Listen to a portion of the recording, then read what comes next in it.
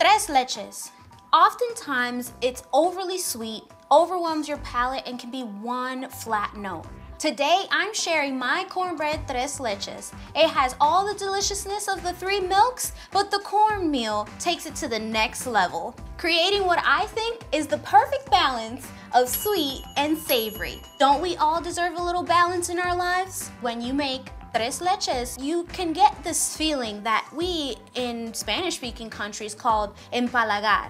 To empalagar, it means to overwhelm your palate with sweetness. I don't know why we don't have a word like this in English, but in Spanish it makes perfect sense. So today we're gonna take some labneh, we're gonna take a few acidic notes, and we're gonna make sure that this cornbread tres leches no no empalaga.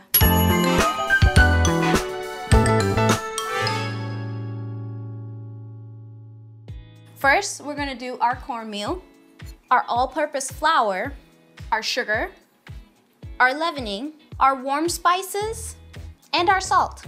We're gonna give this a stir to make sure that everything gets incorporated together. And I'm gonna make a little well for our wet ingredients. We're gonna make our wet mix. You're gonna take your labneh. Labneh is similar to Greek yogurt, but it has a lot of that moisture taken out. So while you want to have a fluffy cake, with this cornbread, I want it to have more dense and compact crumb structure. So we're going to get our eggs. We're gonna give this a whisk. So we're gonna keep whisking until it all incorporates, until it's nice and smooth. You're gonna add your milk, your olive oil, and then we'll come back for the lemon. Just give it a nice whisk until it all comes together. Now we're gonna take our lemon and just squeeze it right in. We're gonna whisk. And remember earlier when I talked about empalagar, adding this labneh and lemon juice will really brighten up your cornbread base, which then we're going to be able to soak and layer more flavors and just deliciousness once we soak it. So now that I've made my wet mix, I'm gonna incorporate it to my dry mix. And now we're gonna pour it in. And remember, don't waste any of this. This is so important. This is how some recipes go wrong is because if you don't scrape it, then it's not the accurate measurement. So we gotta get every last drop. So now we're gonna take our spatula and we're just gonna fold it in. I like to go in and fold it just to make sure that there aren't any dry pockets because to err is human. Now we have our cornbread mix. I'm gonna spray my pan, put it in the oven, then we're gonna get to the good part. So I'm gonna go in. This thing's heavy. Scrape every last drop and pour it in your pan. Using your spatula, spread it to the side of your 9 by 13 pan. You can use whatever pan you'd like but I prefer to use this shape because it gives you the iconic tres leches slice. Now it's ready to go in the oven. And while this bakes, we're gonna make our tres leches soak. I have this ginormous measuring cup because I think that you should use something with a handle and a spout to pour over your tres leches. It makes life so much easier. We're going to start with our milk, our cream, and our half and half. Traditionally, you don't put any of these things except for the milk in a tres leches soak, but while we're building on this tangy and sweet combination, I figured Let's really go for it and try three different milks that we've never put in tres leches before. It's gonna be awesome.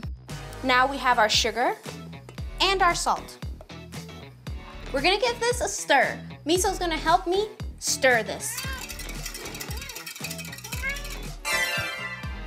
So now we have our cornbread. It's so soft. I just, I, I know that you guys at home are gonna love this dish. So now we're gonna poke holes into it. You could use a fork, you can use a skewer, but I like to use these rainbow tongs. So here we go. And you don't wanna poke too many holes because then your cake will break apart. Now we have our perfectly poked cornbread. So now we're gonna take our soak and we're gonna pour it on top of our cornbread. It's gonna seem like there's a lot of liquid on top, but trust me, once it sits overnight, it's gonna absorb all of that delicious moisture. So now we're gonna cover this bad boy. We're gonna refrigerate it overnight, and then once it's ready to come out, we're going to make our whipped cream.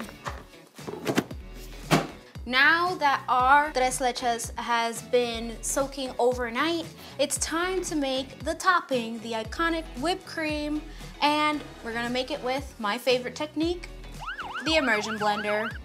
We're gonna take our cream, our sugar, and now some vanilla in your immersion blender.